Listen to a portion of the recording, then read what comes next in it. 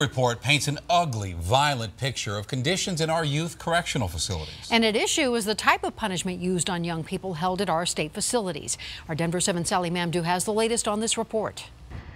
We are outside the Philip Gilliam Youth Service Center, which is among the problem correctional facilities mentioned in this report here that the American Civil Liberties Union contributed to. And I just spoke to one of the representatives with ACLU, and they are telling me they are demanding changes take place now. It's almost like a torture device. I mean, you can't move, you can barely breathe. Xavier Long knows too well what it's like to be in the so called wrap suit. He was once in a youth correctional facility and was in a wrap suit, one of Colorado's method of disciplining kids held in youth correctional facilities. It constricts your rib cage a lot, so it makes breathing really hard. His testimony is in conjunction with a 33 page report put together by the Colorado Child Safety Coalition detailing violent punishment methods used by youth correctional facilities staff. The kids and staff in Colorado in the youth corrections facilities are in crisis. American Civil Liberties Union of Colorado's Rebecca Wallace, who contributed to the report,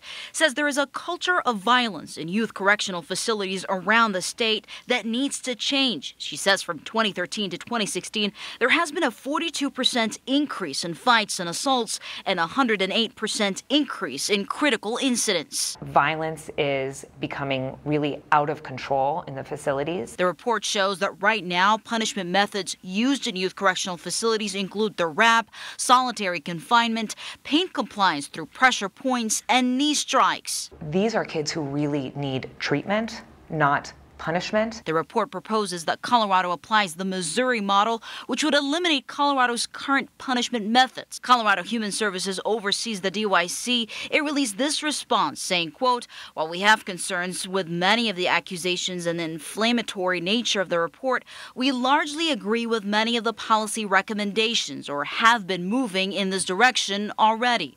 In Denver, Sally Mamdooh, Denver 7.